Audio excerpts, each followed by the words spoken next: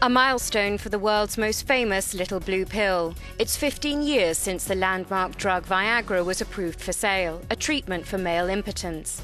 Scientists at pharmaceutical company Pfizer developed it by accident when working on a pill to treat high blood pressure and heart problems.